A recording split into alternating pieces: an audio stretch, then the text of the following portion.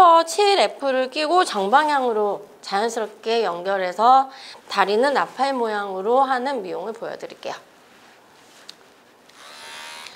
이 머리는 어, 일명 알머리라고 하는데 얼굴 동그랗게 남기는 얼굴 미용을 할 거거든요.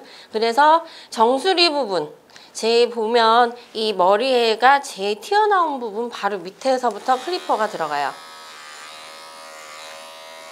자연스럽게 털 결 방향대로 클리퍼가 들어가시면 돼요. 털이 보시면은 결이 이렇게 나 있고 이쪽은 이쪽은 등이 척추 라인은 이렇게 정, 이 라인으로 나 있잖아요. 그러니까 클리퍼 방향도 똑같이 여기는 이렇게 정방향으로 이렇게 밀고 여기는 밑으로 해서 정방향으로 밀고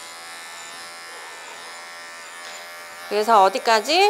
다리 연결하는 그 다리선. 거의 보면 보통 여기 대퇴가 시작하는 부위. 그러니까 고, 고관절이죠. 그쪽까지